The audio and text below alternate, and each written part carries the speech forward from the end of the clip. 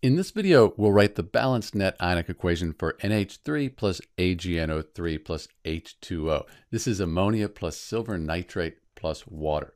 This equation is already balanced. If you count the atoms up on each side, you'll see it's already balanced. So when we do net ionic equations, that's the first step. We balance the molecular equation. Next, we write the states for each substance. So ammonia, we're going to assume that this is in water. It's dissolved in water. A little AQ, it's aqueous. But do remember, this is a weak electrolyte. It's going to be a weak base. We'll come back to that. Nitrate's very soluble. Let an AQ there. That'll dissolve, dissociate into its ions. Water is a liquid. Hydroxides in general are insoluble, and silver hydroxide, that's insoluble. So this is going to fall to the bottom of the test tube when these substances react. So this will be a precipitate. This is a precipitation reaction.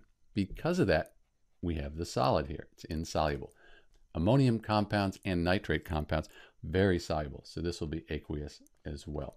So we have the states. Now we can split the strong electrolytes into the ions for a complete ionic equation.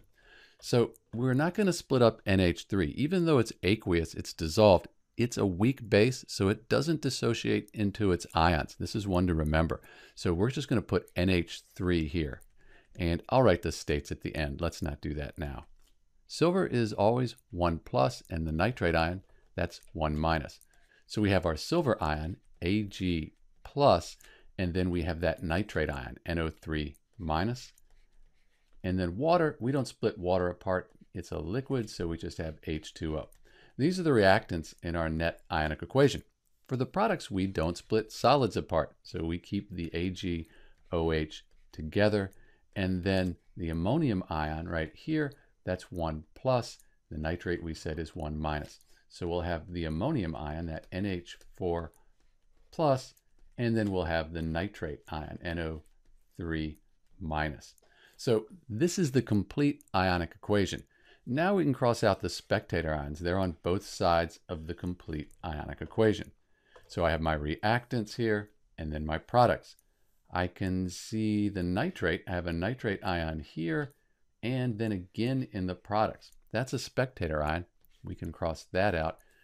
Everything else is different. So this is the net ionic equation. I'll clean this up and write the states in. We'll have our net ionic equation. So this is the balanced net ionic equation for NH3 plus AgNO3. So we have this ammonia here. It's important to note that this will dissolve in water, but since it's a weak base, it's not going to break apart into its ions. So we'll keep this together as NH3. You'll note that charge is conserved. We have a positive sign on this side and a positive sign on this side. So charge is the same on both sides. If you count the atoms up, they're balanced as well. This is Dr. B with the balanced net ionic equation for ammonia plus silver nitrate plus water. Thanks for watching.